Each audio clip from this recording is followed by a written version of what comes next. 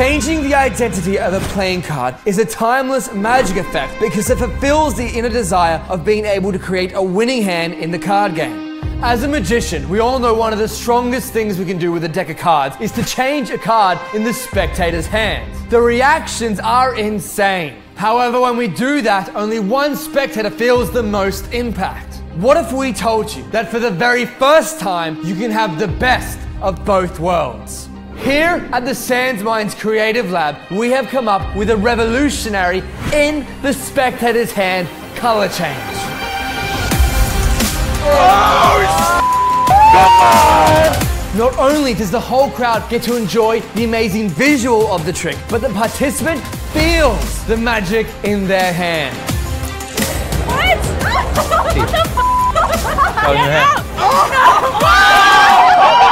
Best part is that you end completely clean, with the card never leaving their hand.